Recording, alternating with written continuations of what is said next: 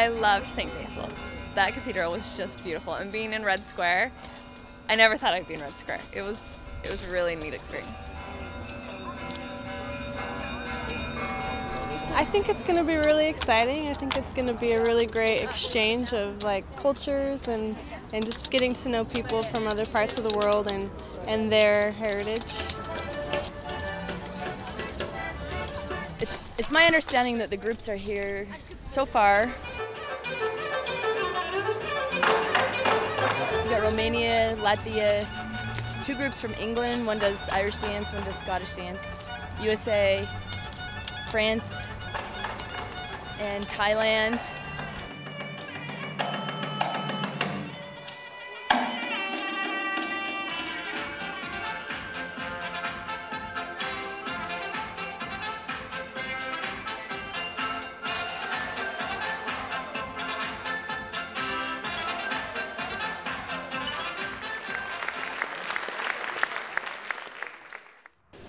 The uh, Clog America International Festival Ensemble from Salt Lake City, Utah is honored to represent the United States at this solemn occasion.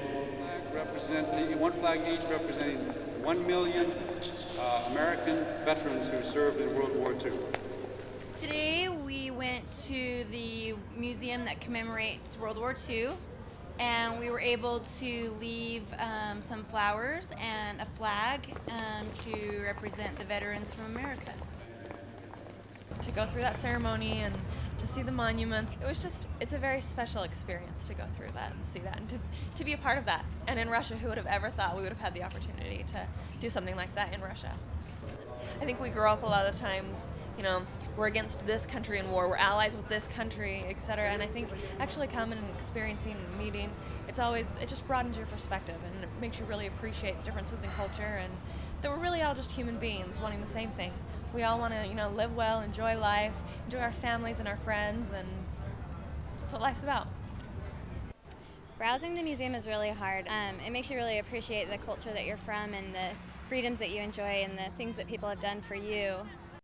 Before the performance, you always get kind of nervous and kind of scared to go on stage just because you're sharing so much of your culture and your people that you just get kind of nervous. And especially today, all the World War II stuff that we've been doing has really kind of build up a momentum for our performance today. You know, we have a lot of expectations as far as representing the United States, and so it's really exciting, but it's also kind of, you get your nerves going a little bit before the show, so.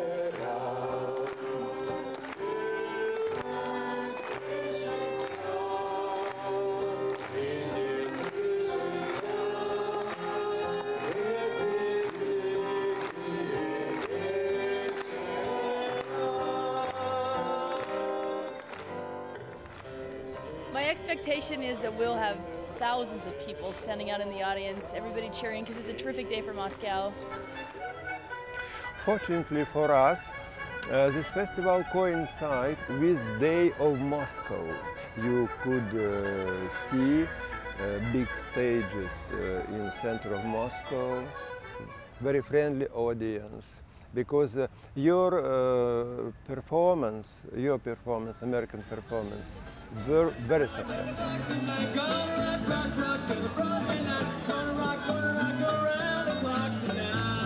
This festival is exceptionally special because coming from an American perspective, we have such a limited understanding of this part of the world.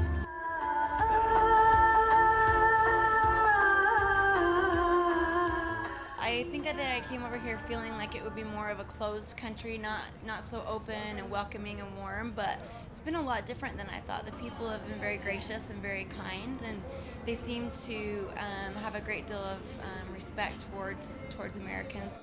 I think a lot of people have uh, a lot of misconceptions about what kind of people uh, yeah, the Russians are, and once you meet the Russian people, you you see that really they're just like you or I or anybody. I've learned a lot of things from other musicians. For example, I learned a lot about how to play Irish guitar from this great man when we were in Moscow.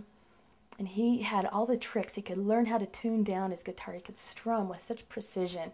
Uh, through my friend Parminder Singh from India. He, he wasn't a musician, but he, he did music through his feet.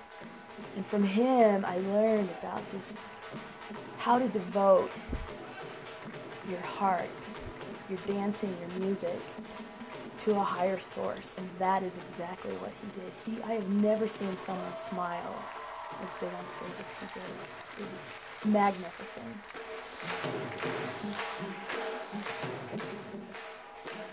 I think that the festival itself is um, a good chance for young people and for people of different ages to come uh, to show and to express the way they see this world and the way they just live. And I wish that we have such festivals once a month because it's so wonderful to meet new people, to get acquainted with them, and also to show other abilities and opportunities what we can do.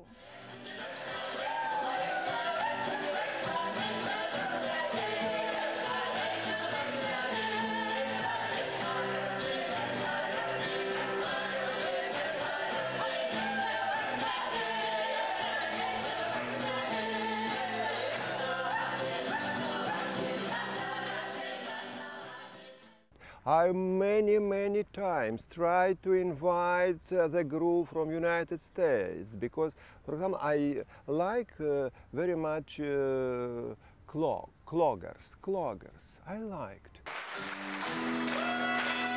And I tried. I asked my colleagues, why, why, dear friends, why you cannot come to Russia? Oh, it's so expensive, it's so expensive. And at last, this year um, I met with uh, and uh,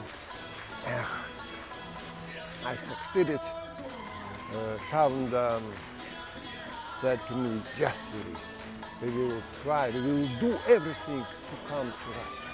And I'm very happy that American group, the group from United States, come to Russia. We are so happy to be here with new friends from all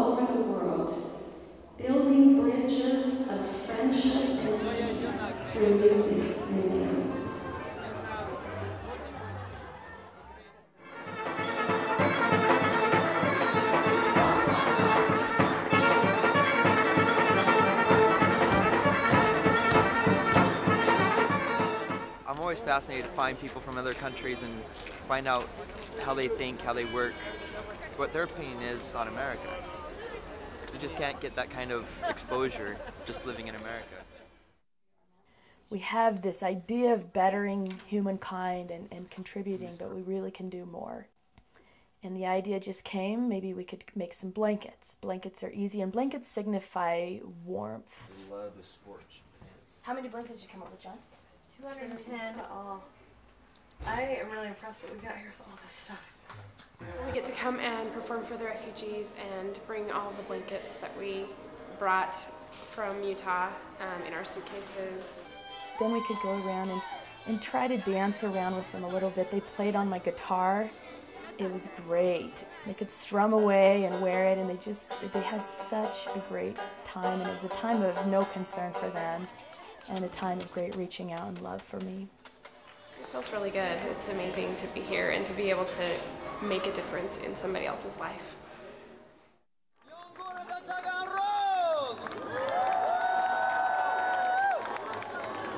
Дарим вам подарок, сюрприз.